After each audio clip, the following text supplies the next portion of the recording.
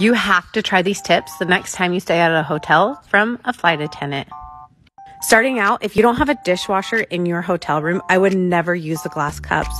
The reason being is you don't know if they're cleaned properly or they're just rinsed out from the last people who stayed in that hotel room. If you have a cup that is fully sealed, then you know they're good to use.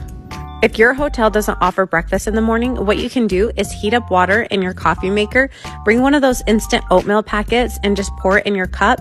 All you have to do is pour the hot water in and you have instant oatmeal for morning.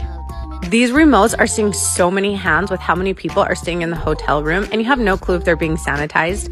Grab an ice bag and wrap your remote in it. Follow me on Instagram for more tips.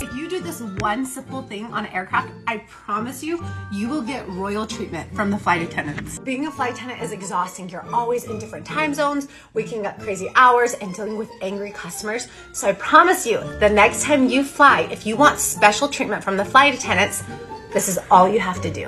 $5 Starbucks gift cards. It means the world to us when a customer gives us this. And if you don't have gift cards, you can just pick up some candy bars, lip balm, anything, and give them to your flight attendants. We will know where you're sitting and we will know what you look like, and the whole crew will make sure you are taken care of. If you are traveling, please, please, please do not make these travel mistakes from a flight attendant. If you see someone put their nasty foot right here where you're sitting, I am giving you permission to freaking. Just kidding, don't do that. But like, tell them to get their foot off. It's gross.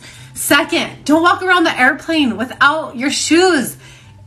Oh, it's so gross. I understand sitting and taking it off still. That's a little, uh, but like walking around the airplane, guys, don't do it. Don't do it. Dead serious, this happened to me on a flight. I had someone clipping their fingernails and it was like bing, bing.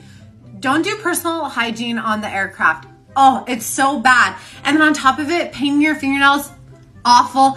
And lastly, please, you guys, please take a shower before you get on the plane. There's nothing worse than sitting in a seat and you're sitting next to someone who has BO. It's it's awful.